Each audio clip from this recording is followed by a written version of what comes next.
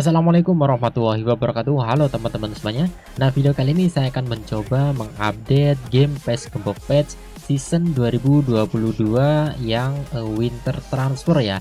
Nah jadi di uh, jendela transfer Januari kali ini uh, ada beberapa pemain-pemain dengan nama besar yang uh, sudah pindah klub ya.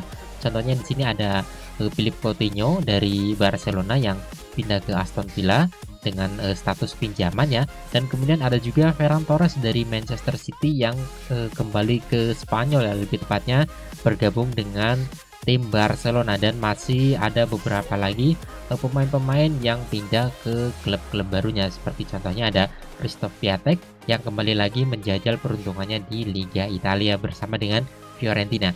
Oke langsung aja ya. Nah nanti buat teman-teman yang ingin mengupdate game Gembok Patch kalian Nah, pastikan terlebih dahulu untuk game PES Gembok kalian adalah yang memiliki gambar seperti ini ya.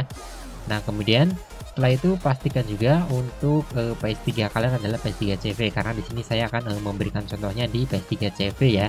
Oke, dan jangan lupa kalian siapkan juga flashdisk yang tentunya sudah diformat ke P32 ya untuk uh, memindahkan file update-nya tersebut ke PS3 kalian karena nanti di sini kita akan mengupdate-nya melalui media flashdisk. Oke, jika semua persyaratannya sudah terpenuhi, sekarang kalian bisa langsung saja cek di deskripsi video ini untuk mendapatkan file update-nya ya. Oke. Oke, seperti biasa ya, setelah kalian mendapatkan uh, file update-nya, kalian perlu mengekstraknya terlebih dahulu ya. Oke.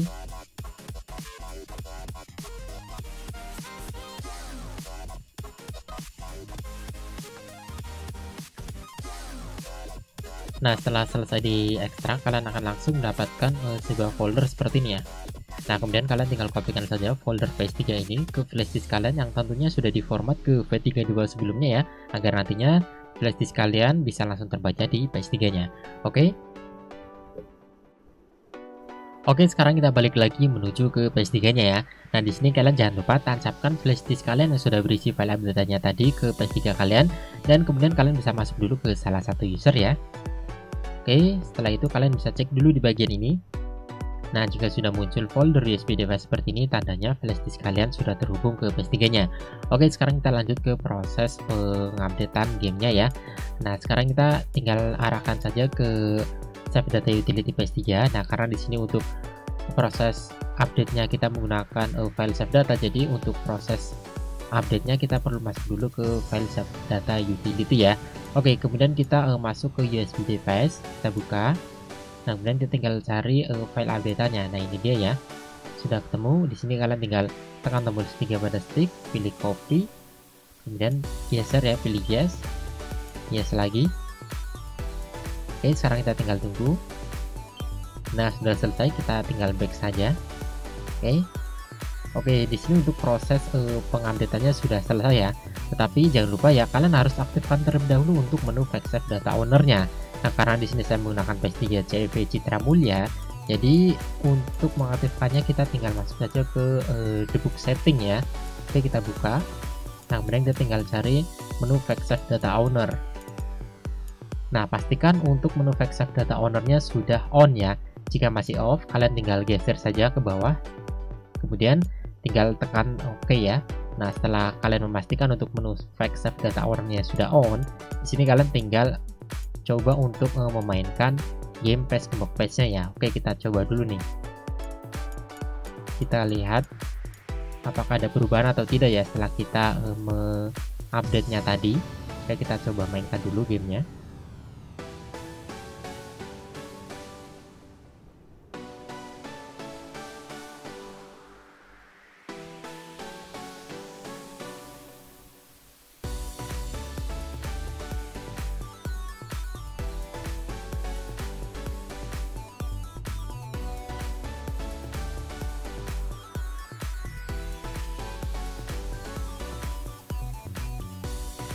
Oke sekarang kita sudah masuk di game uh, PS Gembok Patch-nya ya.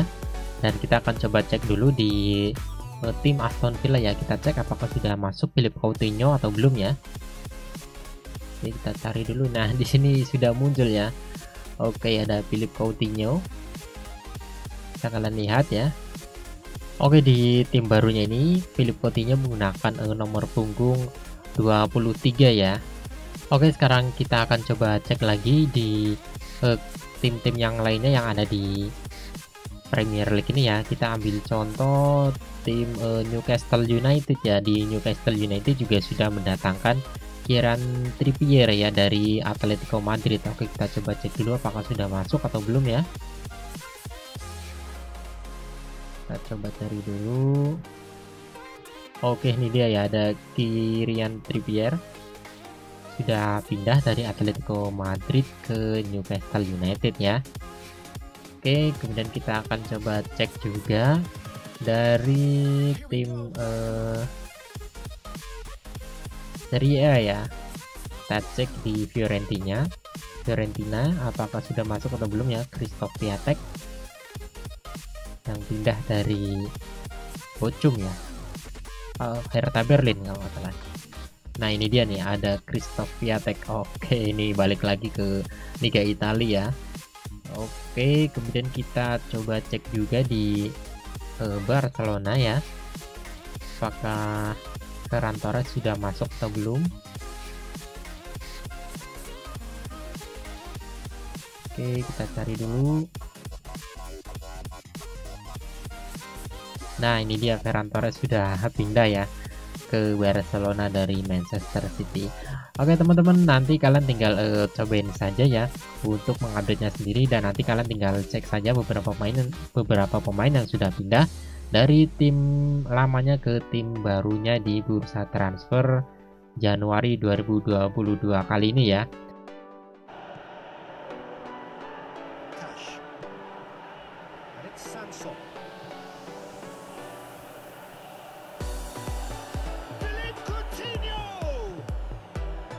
Oke teman-teman, jadi mungkin itu saja video kali ini. Semoga bermanfaat buat teman-teman semuanya. Dan buat kalian yang merasa suka dengan video ini, silahkan tekan tombol like. Dan buat kalian juga belum subscribe ke channel ini, silahkan tekan tombol subscribe dan aktifkan juga notifikasi loncengnya agar kalian tidak ketinggalan update video terbaru dari channel ini. Oke, terima kasih sudah menyaksikan video ini dari awal hingga. Sampai jumpa di video selanjutnya. Assalamualaikum warahmatullahi wabarakatuh.